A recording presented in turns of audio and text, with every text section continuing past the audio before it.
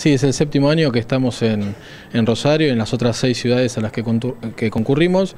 Hoy tenemos más de, mil participantes en el City Center y la verdad que estamos muy contentos porque de todos los eventos que hacemos, incluido el de Buenos Aires, el de Rosario es el evento más convocante que tenemos. ¿Cuáles son las ciudades que recorren? Mira, ya estuvimos en Mar del Plata, Neuquén y Córdoba con 900 participantes en el caso de Córdoba.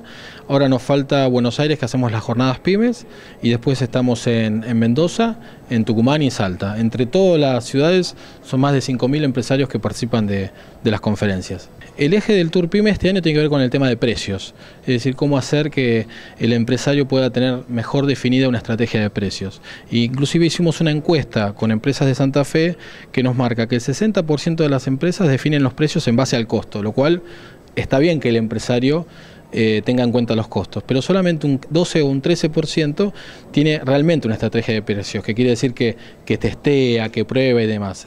Entonces, lo que nosotros estamos buscando con esto es, que ese 12% aumente.